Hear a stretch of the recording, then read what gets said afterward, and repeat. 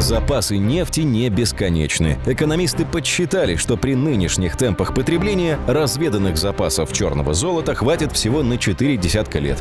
Косвенно эту теорию подтверждает и тот факт, что даже на крупнейших российских месторождениях добыча постепенно снижается. Тот же Самотлор, отдельные скважины имели дебет тысячу тонн в сутки. Ну, чтобы было понятно, сегодня у нас средний дебет э, по стране примерно 10 тонн в сутки.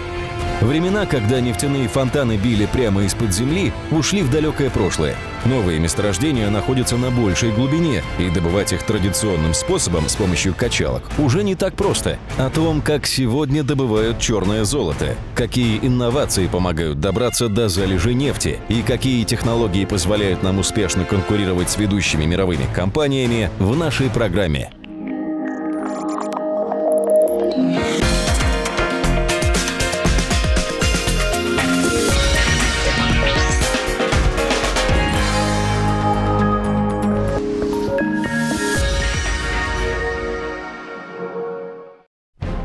Сегодня больше 70% российской нефти добывают с помощью так называемых погружных насосов. Эти сложные механизмы работают на огромной глубине – 2-3 тысячи метров.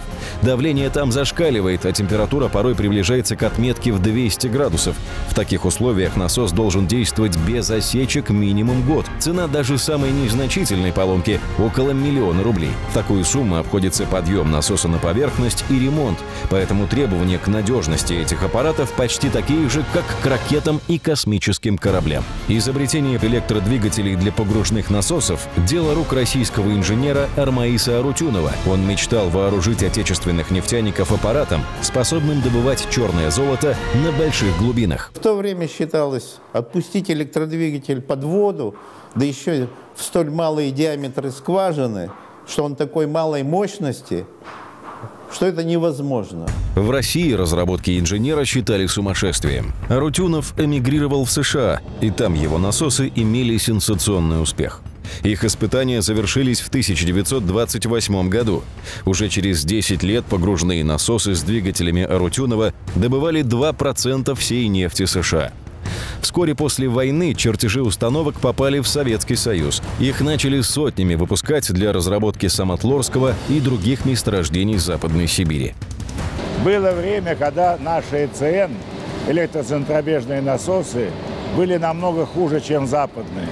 Ну, чтобы было понятно, межремонтная или, как мы говорим, наработка на отказ наших насосов была там 150-200 суток, а зарубежные в то время имели 350, 400.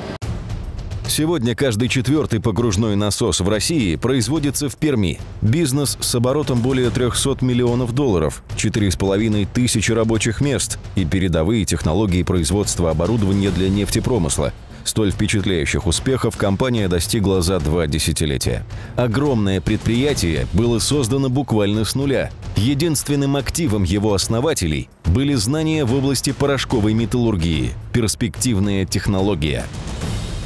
В принципе, а, очень важный для России момент, что компания вовремя должна понять, что современные бизнесы в области технологий – это не продуктовые бизнесы, а технологические. Чем быстрее компания начнет, поймет, что она продает не сотни или тысячи каких-то изделий, а она продает технологию, воплощенную в эти изделия, и эту технологию можно применить в разных рынках разными способами и продавать ее можно разными способами, тем быстрее она начнет как бы динамично развиваться по современным бизнес-законам. Это погружной насос внутри скважины. Нижняя часть – электродвигатель. Чуть выше гидрозащита. Это устройство не позволяет пластовой жидкости проникнуть внутрь движка. И, наконец, сам насос. Если разрезать его, внутри можно увидеть много так называемых ступеней. Это колесо и направляющее. Вращаясь, колесо поднимает нефть наверх. Каждая ступень немного усиливает напор нефти, чтобы ускорить ее добычу. Как раз такие ступени для погружных насосов еще четверть века назад делали из серого чугуна. Более прочные сплавы шли на нужды оборонки, космической и атомной промышленности. Чугун быстро ломался, отсюда и необходимость в частом ремонте. Энтузиасты из Пермского центра порошковой металлургии первыми в мире разработали в начале 90-х технологию получения ступеней из порошковой стали. Была проявлена очень высокая заинтересованность министра нефтяной промышленности, который вдруг увидел что-то необычное на фоне, так сказать, ну, привычных, не, не очень красивых изделий, изготовленных методом литья, вдруг увидел такую гладкую, чистую, э, аккуратную, я бы сказал, даже деталь. Нам удалось сразу методом порошковой э, металлургии сделать сложные, объемные э, изделия с очень хорошей, как бы говорят, гидравлическими гладкими поверхностями. И мы сразу подняли КПД ступени.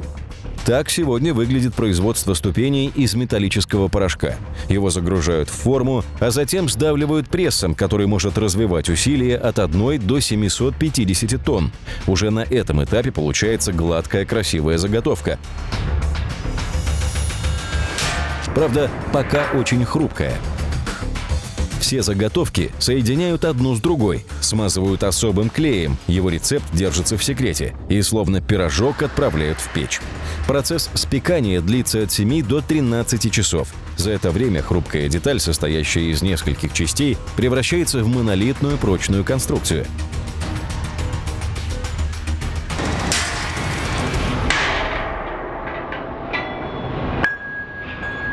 Сегодня такие ступени для насосов штампуются тысячами, а в 90-е надежность таких деталей у многих вызывала большие сомнения. Никто тогда не верил, так же, как не верили Арутюнову, что можно двигатель спустить. Пока не, почти три года не прошло, да, никто не верил, что э, порошок может работать в скважине. В начале 90-х, помимо недоверия, компания сталкивалась и с другими проблемами. Например, с отсутствием денег у заказчиков.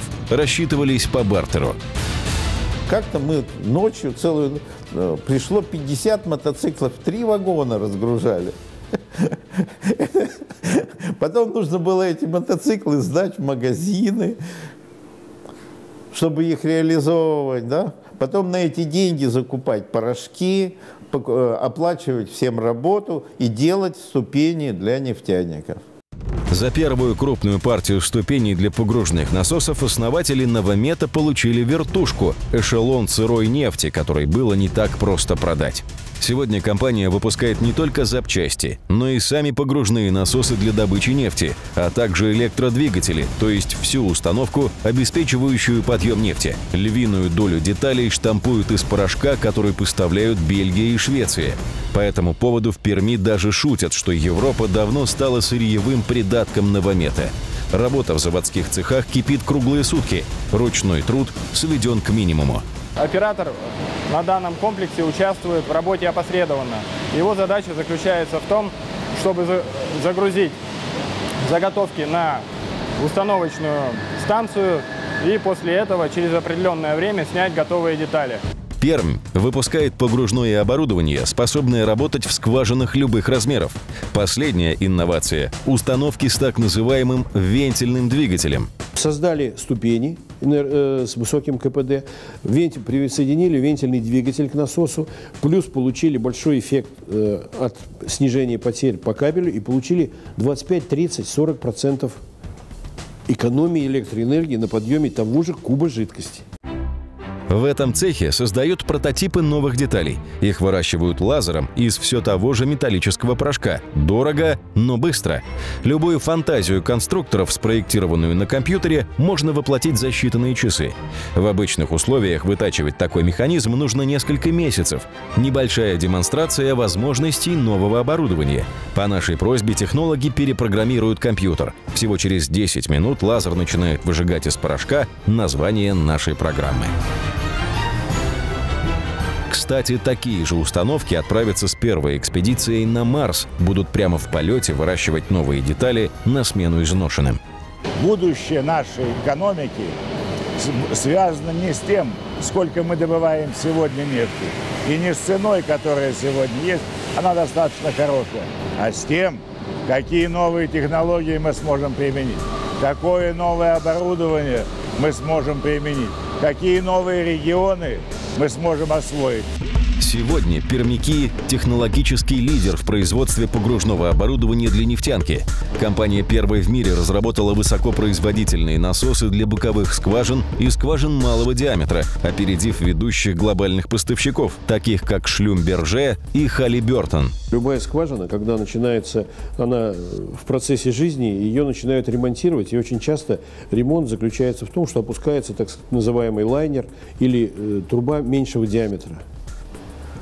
Естественно, и диаметр, габарит оборудования, которое можно будет спускать, он, так сказать, уменьшается. А при этом потенциал скважины может быть, в том числе на, на этих скважинах, он может оставаться еще высоким. Поэтому э, необходимо сделать нормальные так сказать, реальное оборудование для добычи большого количества, так сказать, нефти, но уменьшенного диаметра. Сейчас компания разрабатывает погружные установки для интеллектуальных месторождений. Они способны увеличивать или уменьшать добычу в зависимости от притока жидкости. Пермская компания теперь не просто выпускает технику, но и берет на себя сервисные функции, обслуживает и ремонтирует оборудование. Для этого создано отдельное подразделение. Сейчас в его ведении более 5000 скважин по всему миру, и это только начало. Перми создан просто большой-большой потенциал в советские еще времена. И в этом смысле э, Пермь инновационный, конечно, регион. У нас в России есть этот фонд прямых инвестиций, э, так называемый э, Восток Беринг Capital Investment Fund. Это вообще-то фонд зарубежный. Ну, конечно, они вкладывали в основном в такие в инвестиционные серьезные проекты, но когда они начали вкладывать вот в высокотехнологичные компании, это уже тоже показатель, что они верят таким компаниям. Они туда вложили, по-моему, 100 миллионов евро в эту компанию. По-моему, даже рассматривают сейчас следующий транш своих вложений, потому что это очень серьезный фонд, это миллиарды все-таки евро. Часто нефтяную и газовую отрасль называют сырьевыми. Это правда. Нефтяники работают с сырьем, с тем, что нужно сначала добыть, чтобы потом переработать в готовый продукт. Вот только оттенок это слово имеет негативный. Сырьевой часто понимается как неинновационный, не технологичный. И это при том, что в нефтяной отрасли одной из первых внедряется все самое передовое. От технологий повышения энергоэффективности до систем, обеспечивающих работу интеллектуальной скважины. Именно инновации позволили русскому инженеру построить прибыльный бизнес в Америке, а отечественной компании успешно конкурировать, в том числе и с компанией, основанной этим инженером.